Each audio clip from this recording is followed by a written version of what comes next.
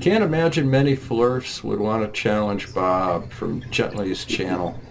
Oh, you would be surprised. They like to do it all the time. I've got one right now, P-Brane, that is just driving me absolutely insane. Hey everybody, P-Brane here. Um, I'm doing a video here. Actually, I'm doing a series of videos because I went and looked at uh, Bob, the Science Guy's channel, and I saw this video. Flat Earthers All children. It's a 10 minute video, and I did basically did a reaction video to it. And my reaction is over an hour long. So if you like to sit back and, and uh, be able to watch a long video of mine, go to Patreon, and it's over there. And uh, I'll be putting it out on YouTube in probably a couple weeks. But so I've already done part one, and here's a thumbnail. I'll put a link in the description. And so this is part two. I'm going to go over again a little bit Bob talking about the satellites, and then I'm going to show Bill Nye and how he doesn't know anything about satellites either. Okay, and I said that Bob really didn't know what he was talking about when he was talking about the geostationary satellites, and they really don't. I mean, it's not an accident that he didn't understand that you track what is moving, the stars, and you don't track what is not moving. That would be a geostationary object, like a light pole. You don't track a light pole, Bob. Consider these five geostationary satellites located over the Amazon basin. this is good. He's going to keep referring to tracking them when there's no tracking involved. You'll see them as small dots. I'm specifically tracking these using a piece of software called SkyTrack. He's tracking stationary objects. Oh, P-Boy, he just misspoke. Let me back that up. You'll see them as small dots. I'm specifically tracking these using a piece of software called SkyTrack. Okay, you don't need to track stationary objects, Bob. The stars you would have to put to track because the stars are moving. Well, he's going to do it again. Now, you have to ask yourself a couple of quick questions. Now, with the tracking on, you see the satellites as discrete little dots. There's three right there. So to see these satellites as dots doesn't require any tracking software, no mechanical tripod. You just put your camera on your tripod, point it at satellites, do a long exposure, come back in a few hours, and what you'll see is any object that's stationary, it'll be clear and in focus. Anything that's moving, like the stars, will be blurred. You'll see star trails. And of course, this is assuming that we could actually see something the size of a car at 22,300 miles away, over seven times the distance of Miami to Los Angeles. And a shout out to my awesome commenters in the first video that I put out a few days ago that pointed this out, right? I mean, you can't even hardly see an airplane in the sky that's uh, 16 miles up, like any kind of spy plane or whatever. You can't see those. And that's only, you know, 10, 16, whatever miles up. But 22,300 miles? No. But I'll, i am still playing along here. It's like training your um, camera on a light pole.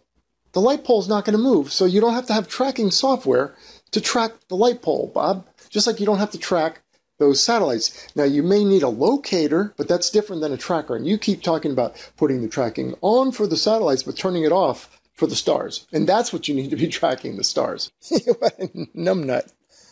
And there's one there and one there. When I turn the tracking software off. No, now you're turning it on. You'll see the stars now are in focus, but the satellites are streaked. Again, still in exactly the same formation as those first dots. A couple of questions that you have to ask yourself.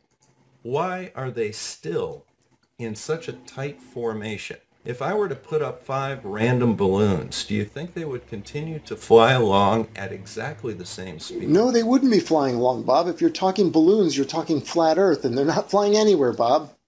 you can't get this through your skull.